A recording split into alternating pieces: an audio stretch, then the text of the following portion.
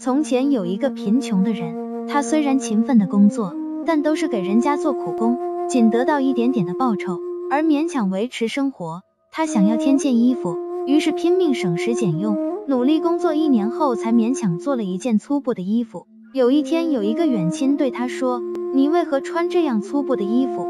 他说：“粗布有什么不好？只要心里满足。粗布与绫罗绸缎有什么区别呢？你不想穿更好的衣服，过更好的生活吗？想，有什么用呢？命运如此，有什么办法？不，只要你肯求神，神会赐给你幸福的。怎么求法？把你那件衣服烧给神，然后虔诚的祈祷，求神赐给你一件新的衣服，以及脱离贫困，神就会如你所愿。这位穷人本来生活穷苦一点，也过得心安理得。自听那位远亲一番话，即燃起幸福的美梦，于是把那件粗布衣焚烧了，也至诚的祈祷。可是无论怎样求，衣服一直没有出现。最后后悔的说：“我为什么这样愚痴呢？把自己的衣服烧掉而去求神呢？